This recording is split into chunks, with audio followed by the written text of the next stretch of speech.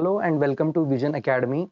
In this video, we are going to solve first PUC computer science MCQ questions on chapter 9 input and output operators. Question number 1 Which is a stream extraction operator? Option A input operator, B output operator, C addition operator, D subtraction operator. Here stream extraction operator is input operator. Here option A is the right answer.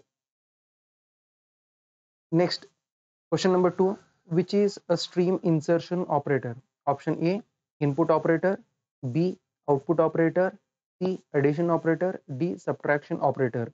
Here, stream insertion operator is output operator.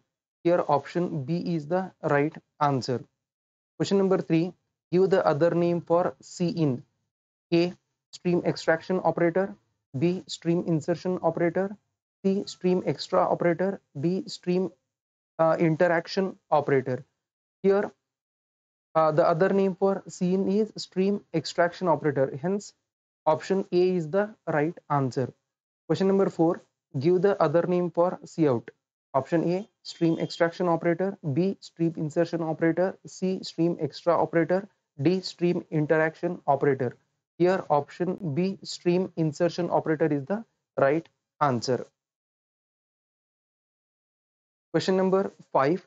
The multiple uses of input output operators in single statement is called option A multidimensional, B cascading, C manipulator, D many. So here we can use multiple stream in and stream out operators that is stream insertion and stream extraction operators in a single uh, statement using cascading. So here option b is the right answer. Question number 6 an operator used along with the insertion operator to manipulate or modify the output. Here the option d is the right answer. Question number 7 give the header file that holds set w and YAML. Option A iostream.h, B conio.h, C iomanip.h, D stdio.h. Here setw is function is present in iomanip.h header file. Hence option C is the right answer. Question number 8. Which of the following is same as escape sequence backward slash n? Option A P in, B cout, C endl, D set w. Here endl performs the same operation same as that of escape sequence backward slash n. Now let us go for question number 9. Which of the following causes a line feed to be inserted into the stream? Option A Cin, B Cout, C endl, D set W. Here line feed is nothing but it is similar to that of backward slash n that leaves one uh, new line feed. So hence it is endl. So option C is the right answer. Question number 10.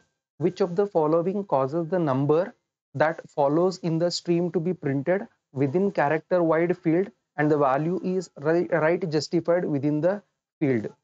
Here options are A Cin, B Cout and uh, C endl, D set W. Here D set W is the right answer that's all in this video. Thank you very much for watching this video. We will see you in the next video. Thank you